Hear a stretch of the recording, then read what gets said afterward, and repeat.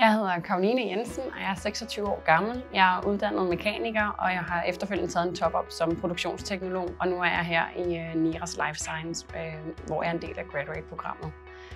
Øh, I det her program, jamen, der synes jeg er en oplagt mulighed for at komme ind på farmaverdenen. Jeg har altid haft en interesse i, i den branche, og nu bliver vi klædt på med alle de her kurser, som vi kommer igennem, sådan så vi nemmere kan komme ud og hjælpe kunderne med de opgaver, som de nu ønsker at få hjælp til.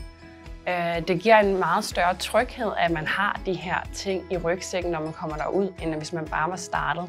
Fordi at man ikke har den der erfaring og øh, basale viden, som de muligvis forventer, man har. Personligt, der rykker vi os også, øh, og den del kan jeg rigtig godt lide, at man lærer om sig selv. Man lærer, hvad ens styrker og hvad ens svagheder er, og hvordan man bedst muligt skal bruge det i de her pressede situationer.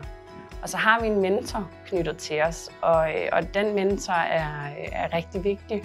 Øhm, for man har hele tiden en sparring. Vi kan altid ringe eller skrive til vores mentor, som så kan hjælpe os, hvis der vi lige pludselig står med et eller andet problem, og vi ikke lige føler, at vi ved, hvad vi skal gøre.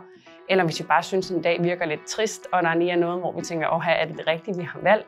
Så kommer de med en god øh, opmundring, og så øh, er det for det meste altid godt igen. Selvfølgelig er der også en masse andre dygtige kollegaer, men at have en mentor, knyttet dem endnu tættere til sig, er bare lige lidt ekstra vigtigt som graduate, synes jeg. Jeg kan sagtens anbefale, at man vælger et graduate-program gennem NIRAS Life Science. Det er en virkelig god indgangsvinkel til den her farmaverden.